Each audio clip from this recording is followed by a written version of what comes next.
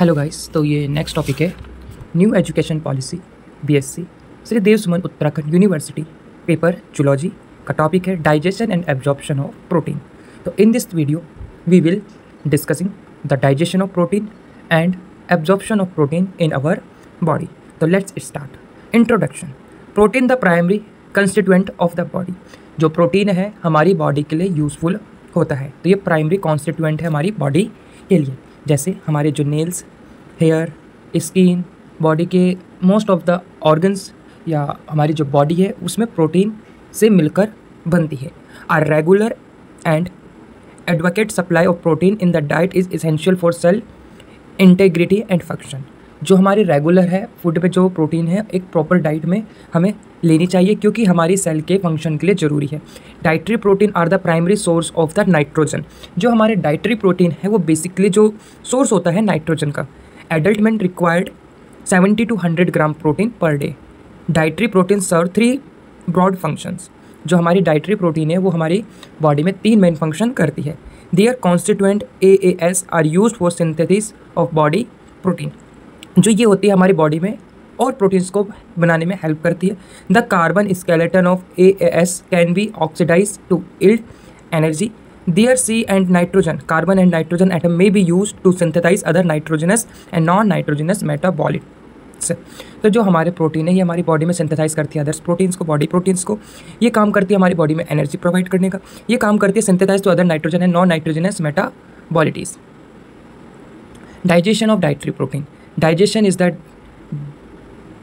disintegration of complex nutrients into small soluble assimilation form digestion एक ऐसी process है जिसमें हमारे कॉम्प्लेक्स न्यूट्रिएंट को सिंपल सोल्यूबल और एसिमिलाइबल फॉर्म में कन्वर्ट किया जाता है। Protein are too large to be absorb protein क्या होती है? बहुत लार्ज होती है इसको एब्सॉर्ब करने में। The dietary protein are hydrolyse to amino acid by proteolytic enzyme which can be easily absorb जो हमारी प्रोटीन है, वो हाइड्रोलाइज होती है अमाइनो एसिड में, किसकी हेल्प से? प्रोटोलाइटिक एंजाइम की, जो प्रोटीन को ब्रेक करने वाले एंजाइम को, हम कहते हैं proteolytic enzyme this enzyme which broke in the protein into small molecule that is called proteolytic enzyme which can be easily absorb proto proteolytic enzyme responsible for degrading protein are produced by three different organs जो हमारे proteo Lytic enzyme. Which enzyme help the digestion of protein or produce our body three different organs: stomach, pancreas and small intestine. Proteolytic enzyme जो हमारी body से ने release करने वाले organs है वो है stomach pancreas small intestine amino acid are linked to be each other by peptide linkage जो हमारी प्रोटीन्स होती है वो अमाइनो एसिड से मिलकर बनी होती है इसके पास पेप्टाइड बॉन्ड दो अमाइनो एसिड आपस में पेप्टाइड बॉन्ड से जुड़ते हैं। यहाँ पे दिख रहा होगा amino acid first amino acid second amino acid third amino acid four amino acid five amino acid एक कार्बन के चार बॉन्ड्स होते हैं, जिसमें एक एन ग्रुप होता है, एक COOH ग्रुप होता है, एक मैथिल ग्रुप होता है, एक हाइड्रोजन होता है, जो रिप्लेस करके अदर कंपाउंड्स को फॉर्म करता है। दो अमाइनो एसिड आपस में जिस बॉन्ड से कनेक्ट होता है that is called peptide bond अब इन पेप्टाइड बॉन्ड्स को हम ब्रेक करते हैं बॉडी में with help of proteases peptidases enzyme की हेल्प से। The peptide bond of the protein must be hydrolyse to give their constituent amino acid digestion of protein that is called digestion of protein basically protein का digestion है कि proteins को break करना है उसकी small unit amino acid में। तो इसके लिए हमें पेप्टाइड बॉन्ड को ब्रेक करना है। तो पेप्टाइड बॉन्ड को ब्रेक करने के लिए हमें क्या चाहिए? प्रोटीसिस यानी कि पेप्टाइडिस एंजाइम चाहिए। कैरेक्टरिस्टिक ऑफ़ प्रोटियोलाइटिक एंजाइम अब ये जो हमारे प्रोटियोलाइटिक एंजाइम्स की कैरेक्टरिस्टिक क्या है? पेप्टाइडेस हो सकते हैं ये प्रो एंजाइम्स होते हैं जाइमोजाइम्स तो एंडोपेप्टाइडिस एंडो का मतलब होता है अंदर। पेप्टाइडिस मतलब पेप्टाइड बॉन्ड को डेज़ मतलब ब्रेक करना। Act inside the core of protein या प्रोटीन के अंदर से उसको पेप्टाइड बॉन्ड को छोटे छोटे फ्रैगमेंट्स में डिवाइड कर देते हैं। स्मॉल स्मॉल पेप्टाइड फ्रैगमेंट्स में ब्रेक कर देते हैं। एक्सो एक्सो का मतलब होता है साइड से। पेप्टाइड मतलब पेप्टाइड बॉन्ड को डेज़ मतलब कट करना है। Act from the amino terminal of carboxyl terminal end of protein ये दो टाइप्स के होते हैं एक्सोपेप्टाइटिस अमाइनो पेप्टाइटिस कार्बोक्सी पेप्टाइटिस मैंने बताया कि जो हमारा अमीनो एसिड है, वो कार्बन और सी ओ ओ एच और अमीन ग्रुप से मिलकर बनता है। तो amine group N S two group को जो रिप्लेस करेगा एंजाइम एक्सोपेप्टाइडिस उसका नाम है अमाइनो पेप्टाइडिस कार्बोपेप्टाइडिस ऐसा एंजाइम है जो कार्बोक्सिलिक ग्रुप को रिप्लेस करेगा। अब pro enzymes peptidases are secrete in the inactive form जो पेप्टाइडिस एंजाइम होता है, वो सीक्रेट होता है इनएक्टिव फॉर्म में। When zymo enzyme reach the side of action they are activate जैसे ही जाइमो एंजाइन यानी कि प्रो एंजाइम वहाँ पर पहुँचते हैं तो वो क्या होते हैं एक्टिवेट हो तो हम बात करते हैं डाइजेशन ऑफ़ प्रोटीन तो सबसे पहले जो हमारा फ़ूड होगा, उसमें प्रोटीन प्रेजेंट होगा। हमारी स्लाइबा में फ़ूड क्या होगा? मिलेगा, जिसकी वजह से वो बॉलस बन जाएगा। बॉलस हमारे स्टमक में चला जाएगा, जहाँ पे गैस्ट्रिक जूस प्रेजेंट है गैस्ट्रिक जूस इस पर एक्ट करेंगे। एक्ट करने के बाद ये चले जाएँगे इंटेस्टाइन में, जहाँ पे इंटेस्टिनल जूस इस पर एक्ट करते हैं, और पैनक्रिया से पैनक्रियाटिक जूस एक्ट करता है, और लीवर से हेपेटाइटिक जूस एक्ट करता है, और प्रोटीन का ब्रोकन करता है, और उसका एब्जॉर्प्शन होता है इंटेस्टाइन में। डाइजेशन ऑफ़ प्रोटीन ओवरव्यू देखते हैं हम। तो जो डाइजेशन है, उसका प्रोटीन का स्टार्ट होता है स्टमक में फिर पैनक्रियाज में, फिर इंटेस्टाइन में बेसिकली माउथ में इसका कोई डाइजेशन स्टार्ट नहीं होगा. They are is no digestion अगर in mouth of protein because they are is no enzyme of present which are the broken the protein small molecules stomach की बात करें, यहाँ पे पेप्सिन है रेनिन है. पैनक्रियाज में trypsin chymotrypsin elastase carboxy peptidase A carboxy peptidase B intestine में amino peptidase di peptidase तो ये ओवरव्यू है डाइजेशन ऑफ़ प्रोटीन का। सबसे पहले जो हमारा फ़ूड होगा, जिसमें प्रोटीन प्रेजेंट होगा, वो स्टमक में जाएगा। वहाँ पर पैप्सिन और रेनिन दो एंजाइम एक्ट करेंगे। फिर वो वहाँ से स्टमक से पैनक्रियास में जाएगा, जहाँ पर trypsin chymotrypsin elastase carboxy peptidase A carboxy peptidase B act करेंगे। इंटेस्टाइन में अमाइनो पेप्टाइडिस और डाई पेप्टाइडिस एंजाइम होगा, जो इस पर एक्ट करेंगे। Digestion in mouth no digestion of protein in mouth no proteolytic enzyme present in saliva. Function of the saliva lubricant the food.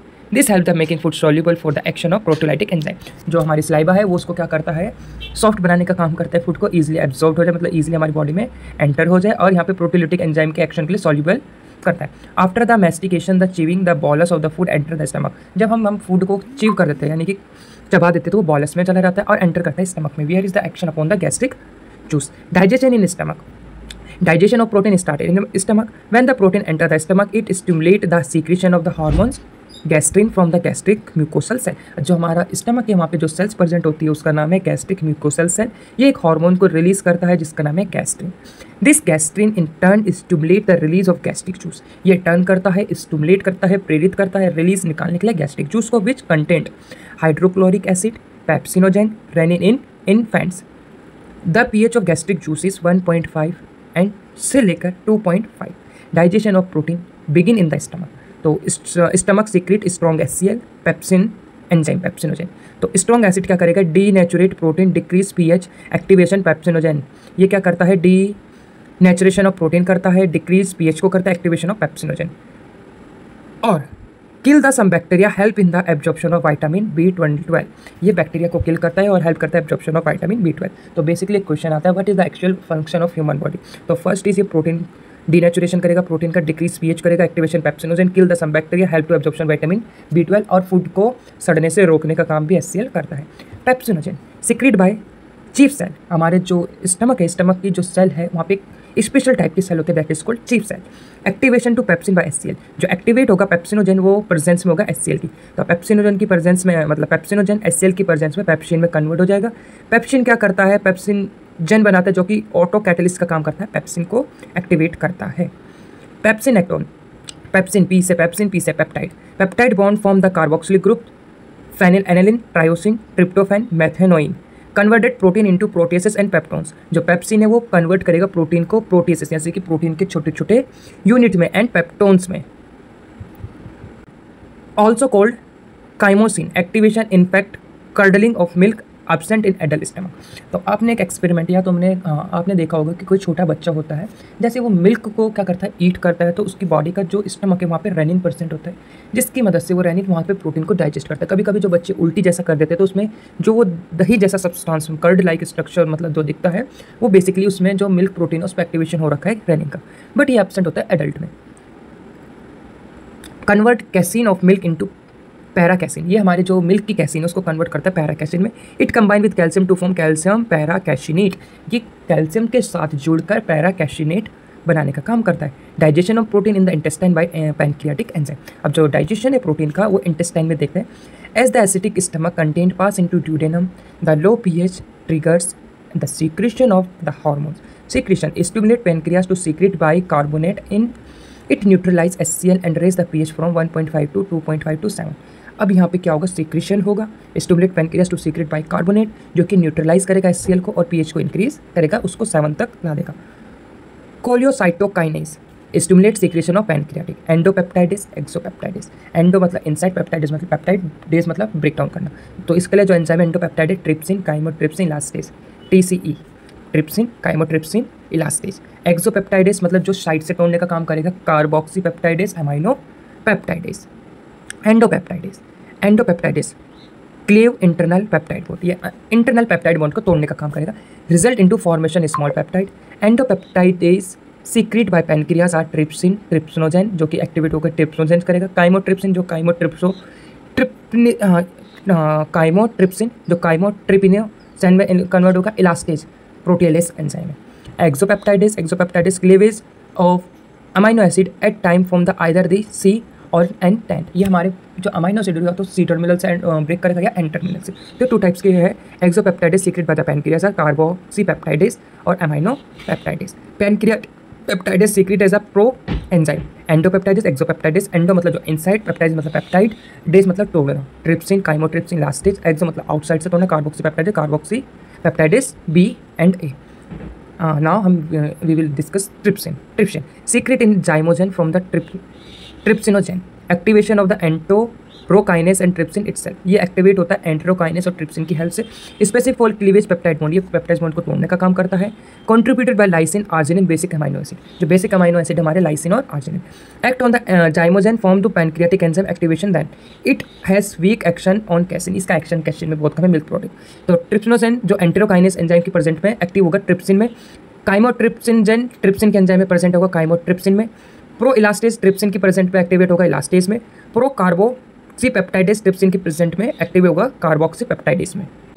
Chymotrypsin and elastase तो जो chymotrypsin होगा, ये एंडोपेप्टाइडिस है इलास्टेज ये भी एक एंडोपेप्टाइडिस है।